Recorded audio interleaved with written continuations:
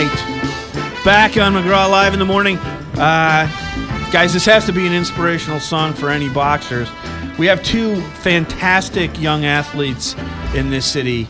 Uh, Josh Temple and Julius Butler, both Olympians, soon to be Olympians. We'll talk to them uh, in just a second. But uh, our pal Peter Vaccaro is here. Good morning. Good To- morning, everybody. How are you, sir? I'm fine, sir. Always good to see you. Always good to see you. And first of all, your relationship with amateur boxing in St. Louis, I was not aware of until I just found out that you have been inducted into the St. Louis Yes, I yes Hall I of have Fame. been. Like, thank you so much. Congratulations. And I and I know Very proud of that, as a matter You've of done announcing. People know Yes. you from TV, and yet your passion play is amateur boxing in this local community. Talk It's a little it's, bit about it's boxing in general. But what I'm here this morning to say is that there is so much good amateur boxing happening in the city of St. Louis, and such a tremendous system we have, going from uh, kids getting involved in satellite gym operations operated by a number of outstanding coaches here in town.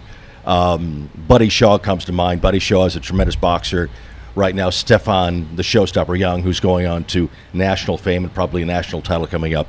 Uh, Jimmy Howell. There are many names that come to mind that have taught and taken their time and trained amateur boxers from the age of eight all the way up to various divisions, from junior to novice to all the way to senior. Now, these gentlemen came from these rankings. Both Joshua and Julius came from the rankings of working with trainers here in the city of St. Louis. You know, Tony LaRussa, I believe, last night I saw him in the news, and he said something about, I think there was a, uh, a, uh, a baseball field recently dedicated to him. And not speaking on behalf of myself, but he said there's nothing better than working with kids. So I say that and I take my hats off to all the trainers and all the coaches that dedicate their time to this. So what I'm here for this morning is to say amateur boxing is alive and well here in the city of St. Louis, and we should continue to uh, support it. As a matter of fact, I must say this, that in many cases, that amateur boxing can be better than professional boxing. Here, here. I, I, I saw that fight uh, a couple weeks ago, and I and I do that. Uh, Peter, we thank you, and guys like Kenny Lair, right? I mean, Yeah, precisely. I mean, the, we the St. Louis has had such a rich tradition of boxing heritage, and uh, from the Spinks brothers uh, to uh, Ken- Kenny uh, Lohr, actually. Kenny Lohr, and and to to uh, uh, you know, John Tate. I mean, the, the St. Louis has a, a very rich history. Devon Alexander, and we have two guys here that are making that heritage even Precisely. richer. And I want to introduce two very special guests. First of all, Josh Temple, uh, welcome to the program. How you doing this morning? Good Out- morning. Outstanding, sir. And Julius Butler. What's up? What's up? Uh, hey, uh, guys, first of all, congratulations on becoming United States Olympians in the sport of Hear, hear. boxing. Thank you. That is Absolutely. a tremendous accomplishment. Uh, first, you. I, I want to start with, with Julius. How did you get into boxing? How did you become a boxer? Uh, long story short, uh, basically used to get bullied a lot. You know, I wanted to learn how to fight, so I got in the ring, and I fell in love, and it's been you know great ever since. Josh, what about you? Uh, for me, boxing started off. Uh, my father's been a boxing coach since his younger days. I have older brothers and cousins that came through boxing, and uh, it was just following my father to the gym every day and being around my father. And then uh, boxing developed to grow on me. I started boxing at the age of six, and my mom didn't want me to box that young, so she pulled me right out after my first fight. And then I came back Like a at mom the age. I came back at the age of 10 and started my boxing career. Uh, so you get into amateur boxing. How do you get to be? You are now the reigning 2014 United States Boxing National Champion. How do you get into that, and how does the process uh, get to be uh, eligible to be on the United States Olympic team? Uh, it all starts at home in the gym uh, with your coaches, working hard, training hard on the road, and uh, just a lot of time and dedication consistent hard work, and you can make it anywhere. Is your mom still? Is she go to all your matches? Yeah, she asked me to knock out all the kids, but then uh, she doesn't want me getting knocked out, so I asked her how you think the other mother feels. So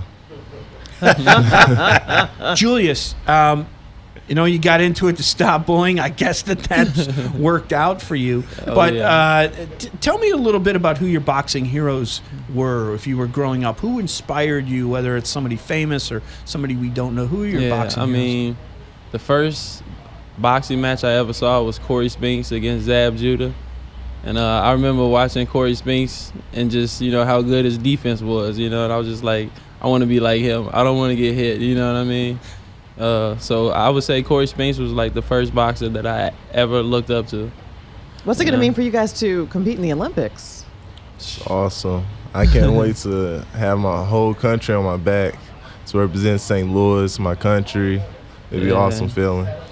Josh is the light heavyweight representative for the United States. Heavyweight. Heavyweight representative. Julius, you're the light heavyweight. Exactly. Uh, the heavyweight division, uh, Josh, uh, recently it has not gotten the same kind of fanfare as some of the lighter divisions. Are you hoping to maybe not only carry the That's mantle for. St. Louis, but to bring the heavyweight sort of title fight? I mean, the, the, the biggest fights in the history of boxing have always been the heavyweights. To bring that, that back. I look forward to the opportunity. I mean, it's a great opportunity to to be able to be the heavyweight champion. Everyone's looking for the next great American heavyweight champion. We have two great uh, Russian champions as of right now, but I'm ready for the challenge. I'm ready to take the spot. We absolutely do, and we got two great representatives from St. Louis. It's it's amazing. Julius Butler, light heavyweight, sir. and Josh Temple, heavyweight. We're going to be seeing you guys a lot. I got to ask you another question. Have either one of you broken your nose or anything? I mean, major, no any- broken any major bones ever. No cuts, broken nose. Kelly, these, these boys are a little pretty, aren't they? I mean, I mean, They I look mean, too pretty uh, to yeah, I'm telling any. you, they, they know how to defend themselves. Right. and, and gentlemen and uh, Peter, everybody, Yes, this event that's coming up, uh, the Tap on May the 9th, 2015, the Rumble at the Tap. We're going to take ourselves a break. We'll have you back another time. Got to go to traffic. Tim Weiland at the St. Louis Closet. Thank you Traffic so Center. very much.